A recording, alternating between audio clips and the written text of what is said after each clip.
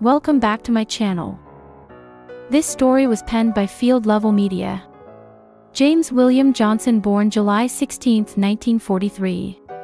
Pro Football Hall of Famer Jimmy Johnson, a lockdown cornerback who spent his entire 16-year career with the San Francisco 49ers, died on Wednesday, May 8, 2024. The evening, his family announced. He was age 86. The Hall of Fame made the announcement Thursday for Johnson's family, which said he had been in declining health for some time and had remained in the San Francisco area. Jimmy was an American sports analyst and former football coach. Johnson served as a head football coach on the collegiate level from 1979 to 1988 and in the National Football League, NFL, for nine seasons. He is the first head football coach to win both a college football national championship and a Super Bowl, achieving the former with University of Miami and the latter with the Dallas Cowboys. Johnson held his first head football coaching position at Oklahoma State University from 1979 to 1983. He became Miami's head football coach in 1984 and guided the team to victory in the 1988 Orange Bowl. Johnson attended high school at Thomas Jefferson High School, now known as Memorial High School, in Port Arthur, Texas. In high school he was a classmate of Rock and Roll Hall of Famer Janis Joplin. Johnson played college football as a defensive lineman at the University of Arkansas, between 1962 and 1964. He helped lead the Razorbacks to the national championship in 1964 when he was named to the All-Southwest Conference team. Additionally, he was named to the Razorbacks All-Decade Team of the 1960s, and was later inducted into Arkansas State Athletic Hall of Fame in 1988, followed by the university's Hall of Fame in 1999. Johnson attended high school at Thomas Jefferson High School, now known as Memorial High School, in Port Arthur, Texas. In high school he was a classmate of Rock and Roll Hall of Famer Janis Joplin. Enshrined in the Hall of Fame in 1994, Johnson played from 1961 to 76. He competed in 213 games at the time of franchise record later broken by Jerry Rice.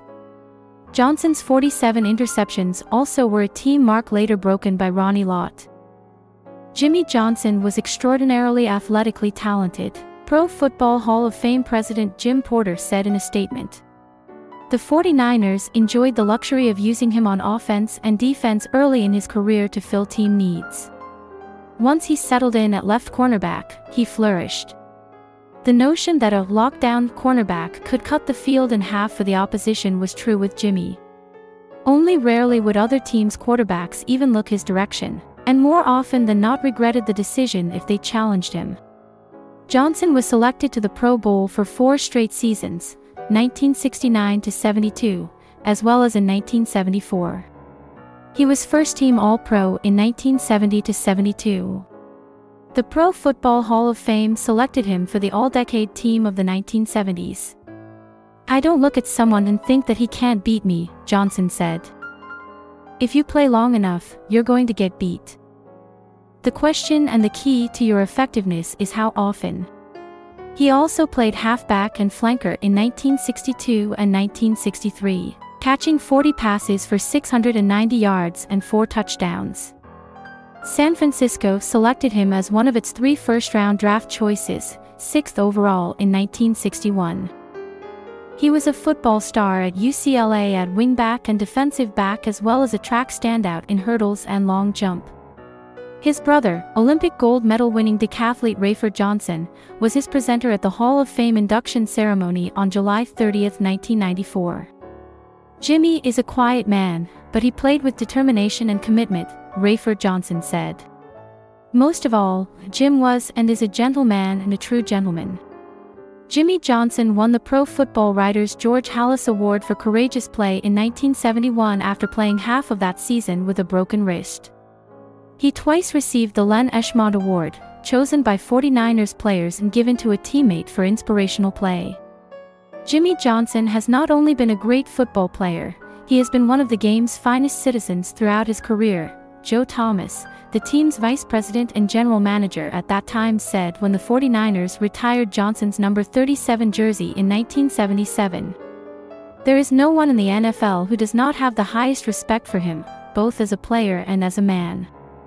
Please subscribe, comment, like, share, and follow for more content. Please support my channel by sending it to Cash App Dollar Director 327. Thank you for your gift it is greatly appreciated. Thank you for watching.